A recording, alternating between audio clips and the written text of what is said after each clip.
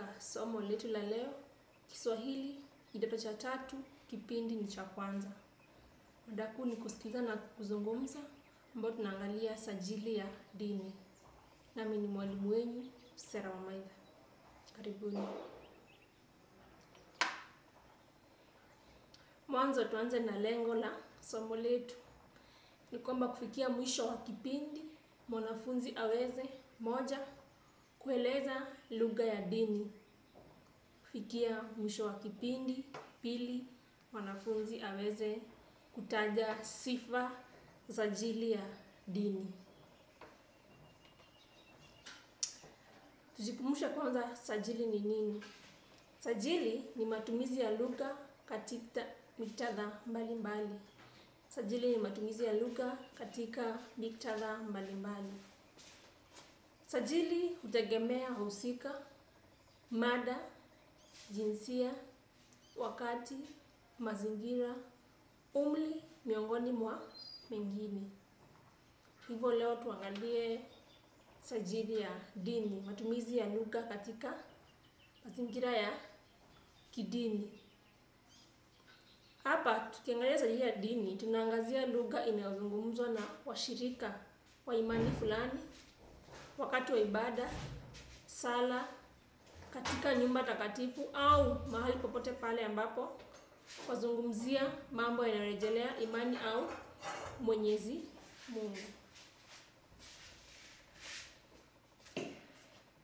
Tuanze na sifa za sajili ya kidini. Sifa za sajili ya kidini. Sifa moja ni kwamba huwa na msamiati wa kidini, msamiati wa kidini kama vile Biblia, kuna maombi, mbinguni, Mwenyezi Mungu, Mwokozi na kadhalika.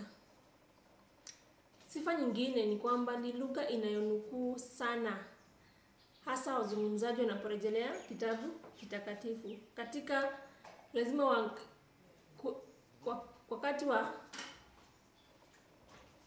kuhubiri katika chumba cha dini kama vile kanisani, lazima kuwe na kunukuu hmm, kitabu kitakatifu kama vile Biblia. Mhubiri ama yeyote yule anaongelea mambo kuhusu Mwenyezi Mungu lazima arejelee ama nukuu katika kitabu cha kitabu kitakatifu.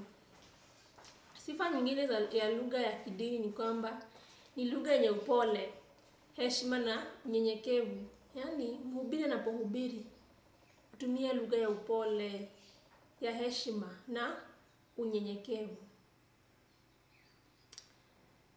Sifa nyingine ya lugha ya kidini ni kwamba ni lugha sanifu. Ni lugha sanifu.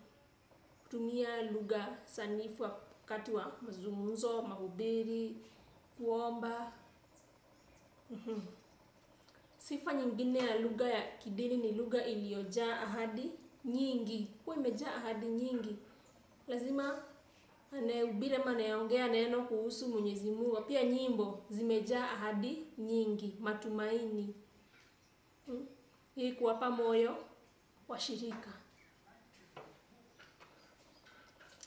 Sifa nyingine ya lugha ya kidini ni kwamba huwa imejaa matumaini. Hmm, lazima ijae matumaini kwa washirika, kuwapa moyo.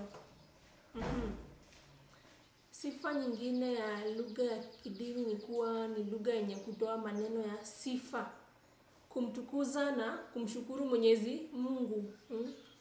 Maneno ya kumsifia Mungu, kumtukuza, kumshukuru kwa neno katika Biblia, kwenye nyimbo. mm? Lazima huwa ni lugha yenye maneno ya sifa, kumtukuza na kumshukuru Mwenyezi Mungu. Shughuli zake hufungamanishwa na uwezo wa Maulana, malaika na nguvu za sala. Shughuli zake hufungamanishwa na uwezo wa Maulana, malaika na nguvu za sala. Kwa hivyo hizo ni sifa za lugha ya kidini. Kufikia hapo, niangalia sifa za lugha ya kidini. Natumai mwanafunzi anaweza fanya zoezi hili eleza sifa za sajili ya dini. eleza sifa za lugha za sajili ya dini. Kwa marejeleo zaidi kuhusu sajili ya dini, waweza kurejelea kitabu cha Kiswahili Kitukuzwe, kitabu cha wanafunzi kidato cha tatu toleo la nne.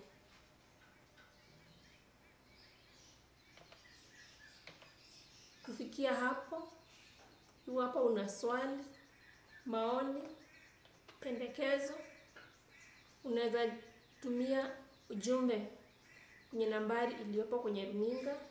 Pia unaweza tupata kwenye mtandao Elimu TV. Shukran kwa kujiunga nasi.